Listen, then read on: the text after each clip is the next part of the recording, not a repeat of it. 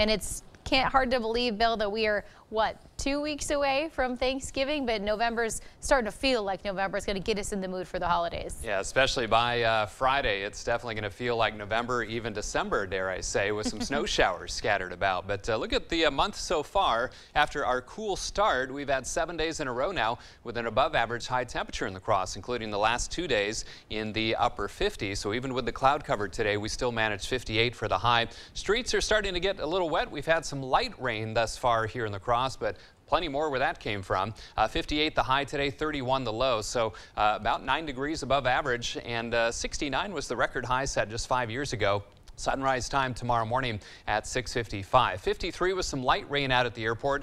Uh, winds have been rather uh, blustery from the southeast at around 10 to 20 miles per hour. Pressure's falling rapidly and the Mississippi rising 5.31 feet. Now the coldest air is still well to our north and or west. It's really not going to arrive, arrive in earnest around here until late tomorrow and especially into tomorrow night. But until then, uh, still pretty mild. In fact, temperatures right now in the mid 40s to lower 50s and they're going to kind of remain steady or even rise a few degrees overnight uh, in advance of this cold front and low pressure system uh, bringing the rain tonight. And again, southeast winds sustained at 10 to 20 for many and gusting 20 to 30 miles per hour in some spots, even 40 mile per hour gusts up towards the uh, Twin Cities. So rain, if it's not raining where you're at yet, it's about too soon as this rain continues to move in from the south and west. And there's even some lightning being detected at times over southeastern Minnesota and northeastern Iowa. So don't be shocked if you see a flash of lightning or hear a rumble of thunder. And you can see that rain all the way uh, back towards Omaha, Nebraska. And as this low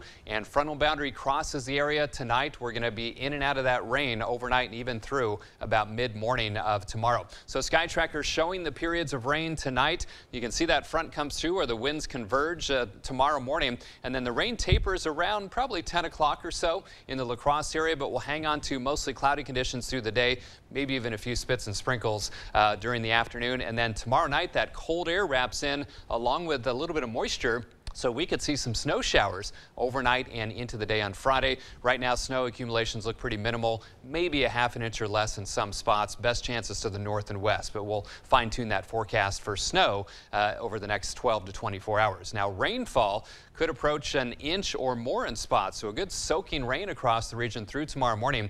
Uh, not all bad news. It's been quite dry around the region over the past several weeks. High temperatures tomorrow will be set in the morning, upper 40s, mid to upper 40s to near 50 for most and then expect temperatures to gradually fall uh, through the day. In fact, areas to the north and west uh, will see temperatures only in the mid 40s uh, for afternoon highs. So for tonight, periods of rain and windy. Again, some isolated rumbles of thunder. 46 for the low, 49 tomorrow morning, but temperatures slowly drop through the day.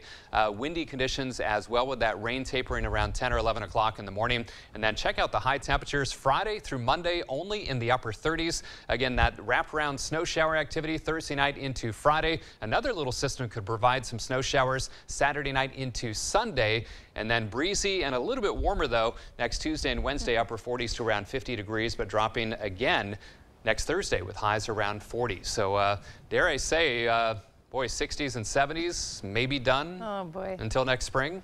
I, I, feel like we looked at that they stuck around for a lot yeah, longer. Yeah, we, we had a very nice fall, yeah. so for sure. All right, thanks, Bill. Okay.